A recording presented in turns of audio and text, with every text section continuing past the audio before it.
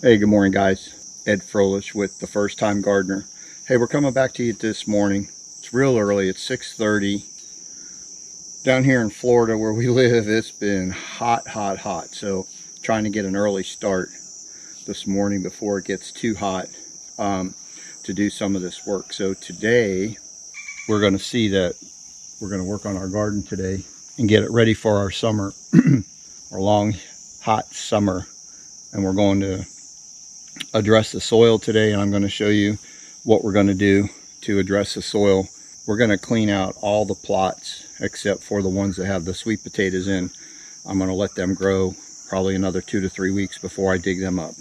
So everything else is going to be pulled out, tilled, and um, we're going to do some prep work for a cover garden today is what we're going to prep our big plots for for over the summer. We're not really going to grow any vegetables or anything. It's just too hot down here. Cover crops, there's a lot of cover crops. And before you decide on a cover crop, if you're going to do this, there's a couple things you need to think about. Some of the cover crops that you can put in are good for the soil, good for the birds, good for the bees. But the problem is after everything is grown through its cycle and it's died off, depending on the equipment you have, it's going to be tough to cultivate that back into the ground. So like sunflowers, they're good because they draw the bees, they look pretty over the summer, but they get a massive ball root and they also have the stalks that come up they're pretty thick. So if you don't, on a little plot like this here, if you don't have a big ass tractor in order to chop all that stuff up when you till it, I mean, it's just going to be, you know, way more work than it's good for. So that's the other thing. Got to make sure you have the equipment that you need in order to till this back in afterwards. And the other thing you got to think about is there's a long-term and a short-term cover crop. So like right now, I only have about two months, maybe two and a half months, and before I'm getting ready to plant my fall garden. So you don't want a cover crop that takes six months cycle. There's a lot of differences of the different cover crops you can get. Time takes to grow. So I've done some research and I'm going to show you what I ordered today. And it's going to be a short-term cover crop that in six weeks it's already grown. There's flowers on it. to draw the bees. And then I can cycle it into the ground, put the nutrients back into the ground, and then plant my fall crop. So that's what we're going to do today. It's going to be a long day. I'm going to take you along on the different processes that we're going to do in the garden. So follow me along through the day. Hopefully this is going to be informational to you for your garden that you're trying to do so that you know what to do over your summer. If you're in the same situation like me, it's just too hot and you don't feel like getting out there every day and uh, weeding and watering and all that stuff. So once you establish this cover ground for the first like week, you water it every day after you plant the seeds. And then pretty much you don't have to worry about it. Maybe once every three days, you put a little bit of water on it. Let me show you what I ordered. All right, here's the magical box we're gonna open today. Inside here are the seeds that I ordered for my part of my fall garden. I didn't order everything yet. I'm gonna show you what I'm gonna plant in the fall and also what my cover crop is that I'm gonna be planting in this after we get these beds ready for the cover crop. All right, let's open this bad boy up. Okay, and by the way, these seeds here I got from Hoss Tools. Hoss Tools has a lot of, if you go on their website, they have a lot of small gardening hand tools that are good for us, like we have small plots. Um, they sell just about anything. They sell uh, fertilizer, they sell seeds, they sell tools. Uh, they also have a good reference on um, different things that they grow on their plots, show you how they grow them and stuff like that. So it's very informational. So let's finish opening this up and see what we got.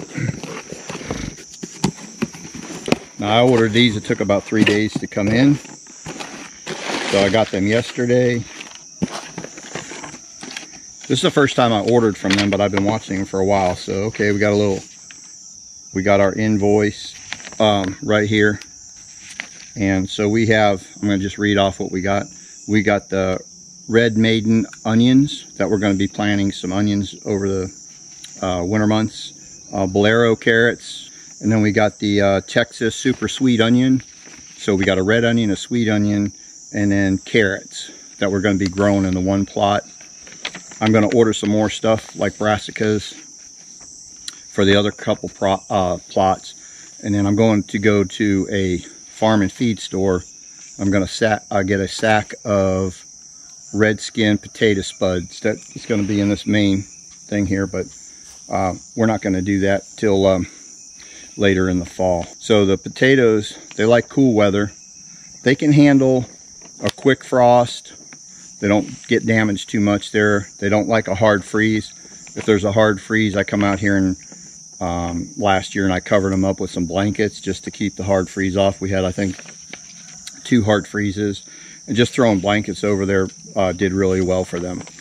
All right, so these are our onion, our onion and carrot seeds in here.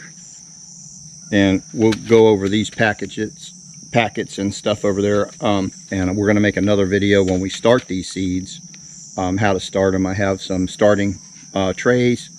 I'm gonna show you how to mix the soil, start these things so that when we do plant them in the garden, they're ready to go. So, but that's another video. Okay, and here is the main focus from today. So this is buckwheat. And this is going to be our cover crop for the summer. This is what we're going to be putting in there. Let me just give that to you so you can see. And the reason I got this for, like I was saying, it's a this is a um, a quick turnaround cover crop. So it means it grows really fast. It gets flowers on top to uh, to draw the bees in so it works good. So this is the first time I'm doing a cover crop. So we're going to see how how it all works. I went on Hoss's website and I watched them how they um, seed the plots. So we're going to mimic what they did and then I'm going to take you along through the next few weeks and give you updates on this um, to show you how it's coming along. So this is about a six week crop we're going to have in. In six weeks I'm going to take my tiller, turn it in, uh, with some compost and some other stuff to get the soils ready and we're going to be planting um, the seedlings that we're going to start in the seed pot, uh, seed trays and you'll see that in another video planting those okay so let's get started we got a lot of work to do today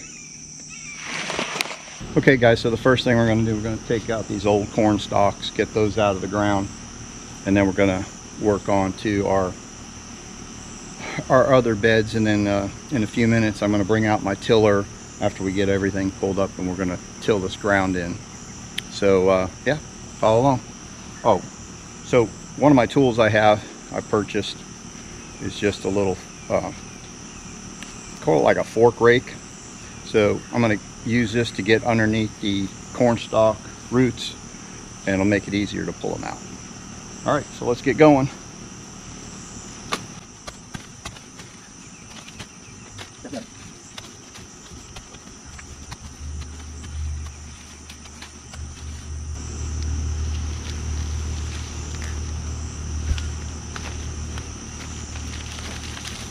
All right guys i just wanted to show you so these are small these are small stalks the ones that i had over here original plot. They were a lot bigger but you can see the the root ball is pretty big and the stem gets pretty thick so if you try to just till this into the ground you really need a big machine. Um, so what I like to do is I come in here I pull them up I cut this off the root ball and then I try to, if these are thin like this, I try to chop them up with my lawnmower. And if I can chop them up, if they're not too big, chop them up enough, then I'll go ahead and put them back in the soil. My, uh, my hopes is later on that I'm going to get like a wood chipper that I can put over by the compost pile and then run these babies through it, chop it up, and it'll go into my compost pile. So give me another uh, form of matter to put in there so that I can build up my compost pile. But anyway, that's it. Now I'm not sure what this grass is called here. It's a weed, but it's a very invasive weed here. Um, if you let it get out of hand it just goes crazy um, I planted these two close together so it was kind of hard to weed in between them so the weeds got kind of uh, a little bit uh, more dense than I'd like it to. Okay guys we got the first area finished. Let me just show you. So we got it all all cleaned up. That's where the old corn was that I just showed you a minute ago. So we got it all cleaned up. Um, I edged this line right here. I'm gonna I'm gonna edge you can see the difference. So I'm gonna edge this line with the shovel.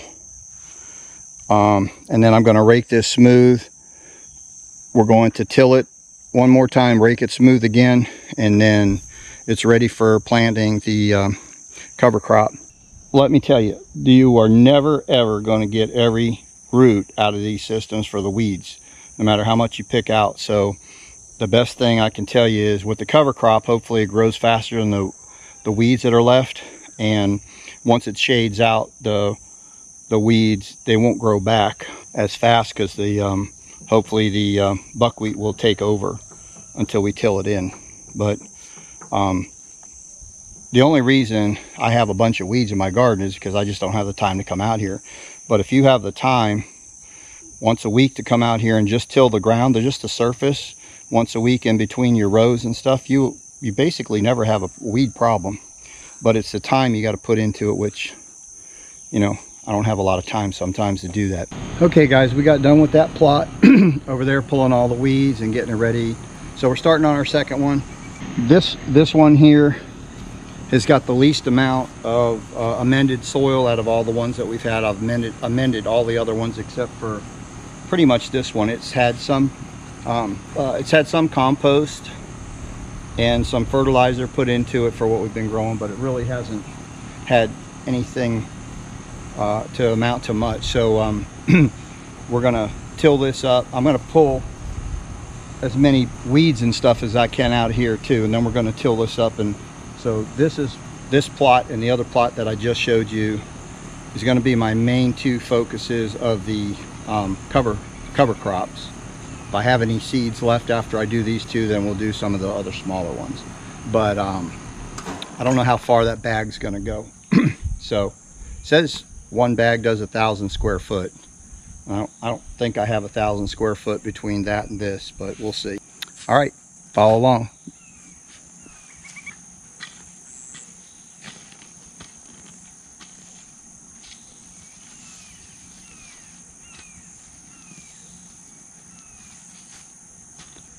the reason I want to pull these weeds is I want to try to get, like I said, you're not going to get all of them out, but I want to try to get as many roots out as I can so that they don't like uh, start growing underground and uh, reprocessing the weeds.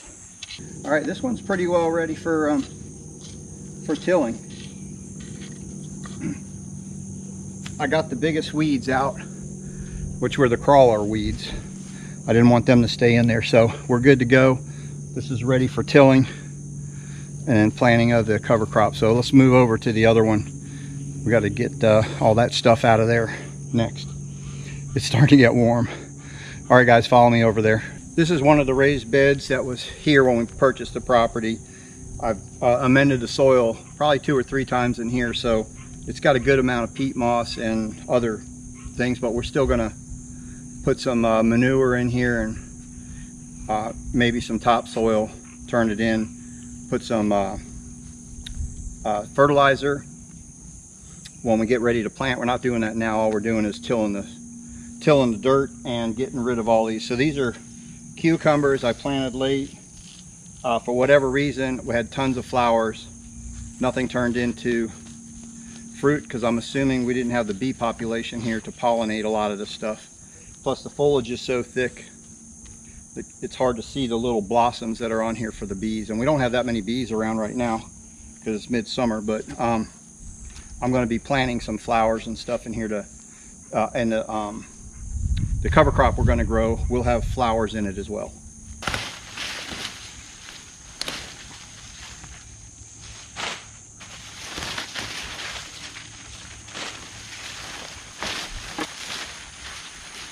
and I wanted you to see too um, these tomato rings come in uh, in good for other things than just the tomatoes. So I planted the um, seeds of the cucumbers in the ground once they sprouted and they were, I don't know, about that tall.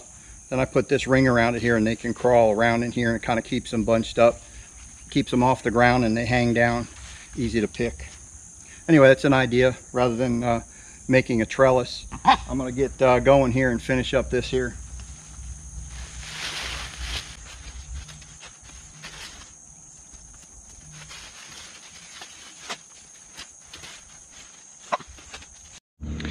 Okay guys, as you can see, we got everything um, pulled out, tilled up. Uh, we won't have to put the tiller in here because I was able to rake it and turn the ground over. And I, this is small enough I can do by hand if I have to do it again over the summer. I wanted to give you a couple tips.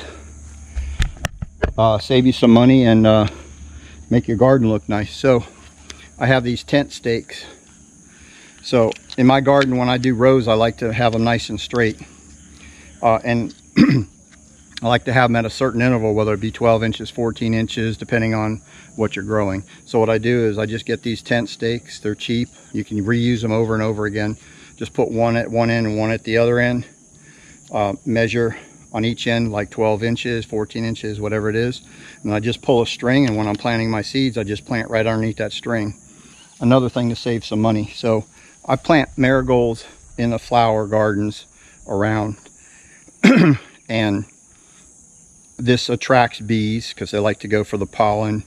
It also gives um, some bugs don't like the smell of the odor that these give out so it kind of detracts away from some bugs not all bugs but some bugs don't like that but my point is when these flowers die off and you can see like these buds here you can take these buds off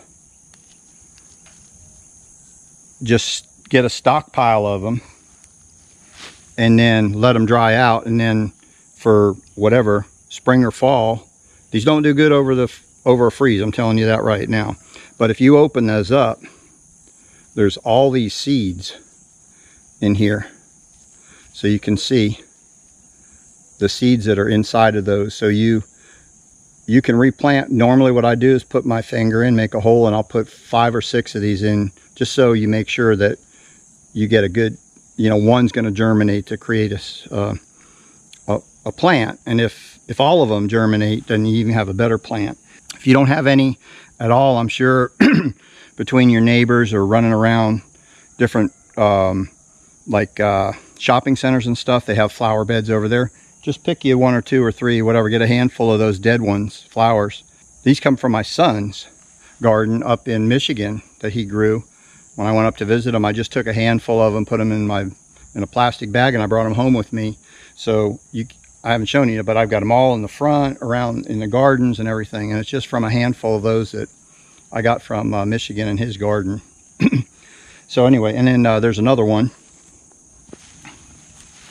So these are called zinnias, and that's what they look like. They're a very good attractant for butterflies and bees as well. So I'm going to put them, I put them also in my garden. As they go down, you can see what the flowers look like after they die off. You can pick all these flowers, save them as a bunch in a bag or a box or whatever, and then you can plant these. So basically you just open them up and all those little seeds that are in there, the little white seeds there, those are all flower seeds. You can see you can see some of the flower seeds here. So, but um, same thing, take them apart, take the seeds, put a hole in the ground, three or four of these little seeds. Uh, you can also put them in a growing tray, get an 18 or 36 or whatever size you want, 24. They have all different size growing trays. Put some potting soil in them and put, um, poke your finger or a pencil you can use. Poke some holes in there, drop four or five seeds in each one, cover them up, water them. Just a little tip so you guys know. There's other flowers too that, that bloom and you can get seeds from, but these are the two that um, I use. And uh, I had sunflower seed or sunflowers in my garden as well. We've got one more to do over here. I had a wild tomato growing. You can see the tomatoes. They kind of, that's another thing I don't have luck with is tomatoes. And you can see these plants right here. These are the zinnias. So the ones I just showed you with the seeds, they were planted here and the seeds drop off and they just reproduce on their own. This year for the zinnias, I'm gonna make a little two spots. So I've got this area here that um, I fenced off and I put herbs in here, but uh, I grew cilantro, which we got a little bit. I grew Italian parsley, which I got a little bit. But I'm going to rip all that out. I'm going to put new soil in there, and I'm just going to make this whole square thing zinnias. So they grow they grow about that big, and there'll be tons of flowers for the bees and the butterflies to come. These here is another another thing. Like if uh, I do a lot of these bamboo sticks, so when you're growing um, cabbage or broccoli or whatever, once they start getting tall, if you get a lot of wind in your area, I usually tri-stake this around the plant so the plant can grow in the middle of it. If you get a wind, strong wind, and they blow over like we get some of the uh, rainstorms in the summertime here, we get 40, 50 mile an hour gust winds. So once it gets pretty tall, it could blow it over. So I just tripod these around the plant, each plant. It grows in the middle and it keeps the plant from, you know, when it goes over, keeps the plant from falling over. So, and they're not they're not too expensive. I bought a box of I think 50 of them. Actually, Peggy bought them for me, um, and I just use them in my garden wherever I need them. They also make good stakes. Like if uh, if you have a trellis and you're trying to guide something to grow up to the trellis, you can put those and angle them from where you plant it to the trellis so they'll grow up here, get on the trellis, and then you can pull these out once they attach to the trellis. it's another idea for them. Okay guys, it is time for the next process and that is going to be tilling the garden areas before we get ready to plant the cover crop. I'm using a tiller cultivator. My sister was nice enough to give this to me because she didn't use it anymore because she's not gardening as big as she used to. And I was just getting ready to buy one. So it came in real handy. now this isn't something that you want to continuously use for like ripping up raw grass to make a bed. This is after everything, the bed is already made and you're just retilling it. I think it will till in the um, cover cover crop that we're going to put in there, but we'll have to see if it does or not. Um, I don't know how leggy it is, but according to everything I read, it's not too bad. So you can see, got everything cleaned up. Okay, we're gonna get get that thing going and I'll show you what to do.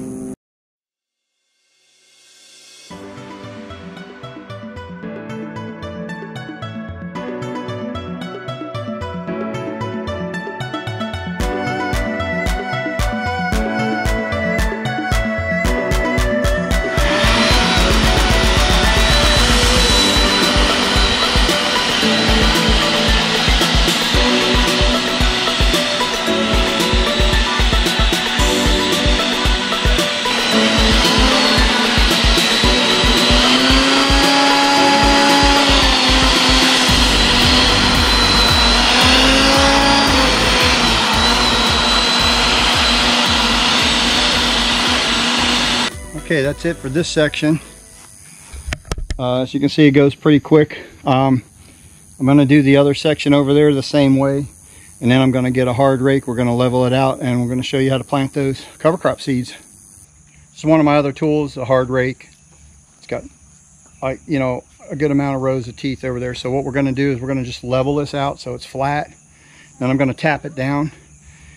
My thought is I'm going to make, with all these little tongs, I'm going to make little rows that go in the garden. So when I spread out the seed, they fall in the little rows and then I'm going to turn it over and use the backside just to kind of scrape it and cover it up with uh, dirt. Let's get started.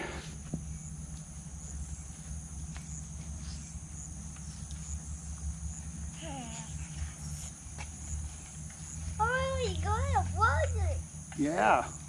Yeah? That's right. What you doing? Y'all hear my grandson. He's helping Papa out in the garden today. And then we're going to go in the pool. We? Yeah? Yeah, we're going in the pool. Be careful.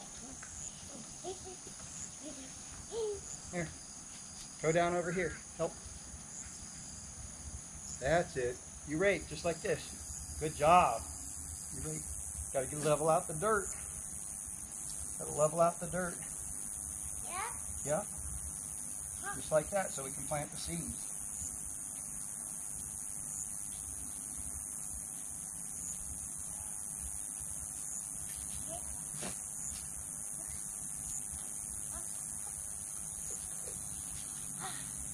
Okay. Good job, buddy. We're going to do this section here now. Okay, guys, that's pretty much how you do that. I'm going to finish this section, go to the other section, level that off there, and then I'll come back and show you how I put the, the little bit of rows in and we'll spread the seed. Okay, so we got it all leveled out. We're going to take the rake, do our best we can just to try to make grooves before we sprinkle the seed. So, and I'm just, like I said, I'm just using this here.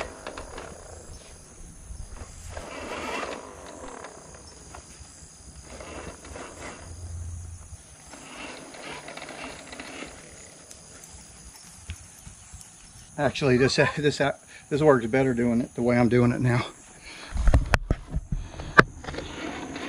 Just tapping it like this makes it better. It puts more grooves into the dirt so the seeds can have a place to stop.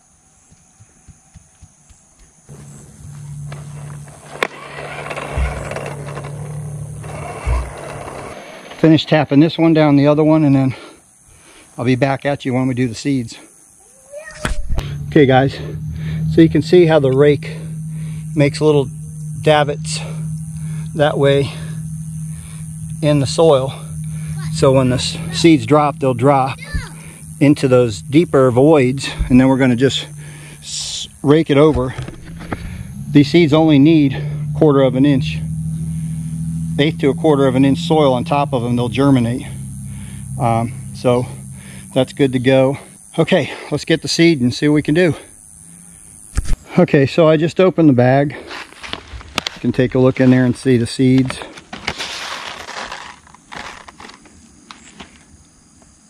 You can see they're kind of they're kind of small. Um, I don't know that my spreader will go small enough in order to do this without um, dropping too many out at one time. And I want to try to get this whole area and the other section covered with these here. So I'm going to do it by hand. And then we're going to rake it over. So I'm just going to grab a little bit and spread it out.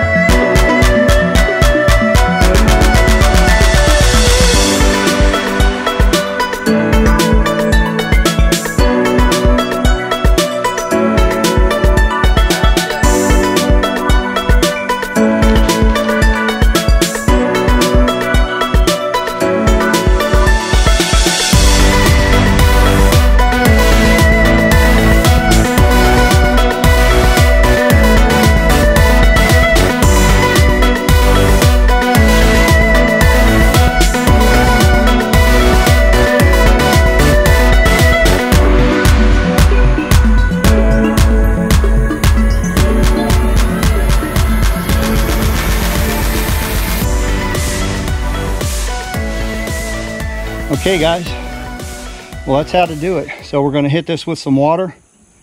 I got my uh, sprinkler we're gonna put on here just to keep it wet. And um, we're gonna bring this back to you in about seven to 10 days and show you how much has come up. Hopefully we get um, almost 100% germination, I'm hoping.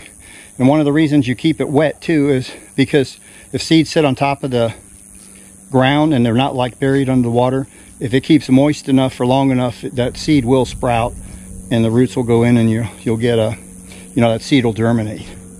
So anyway, all right. I hope you like this video. I know it's a little longer one, but uh, I wanted to make sure I covered all the steps for you and so you could actually see everything and process that we were going to do. Um, so thank you for watching. If you haven't yet, please subscribe to our channel. This is a brand new channel. We're trying to grow it. I only have four subscribers, maybe five. I think five subscribers right now. So if you like this content and you want to see more of it, in the future if you subscribe to the channel, ring that notification bell. That way you know when we do upload another one.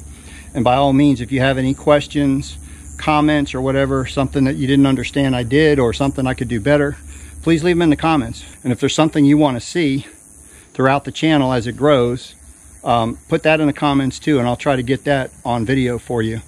So anyway, that's it for today. Thank you. Subscribe. Give me a thumbs up, please. It's the most important thing right now. Subscription and thumbs up. And until we see you next time in the garden, stay safe. God bless. And we'll see you on the next one. Thanks so much for watching.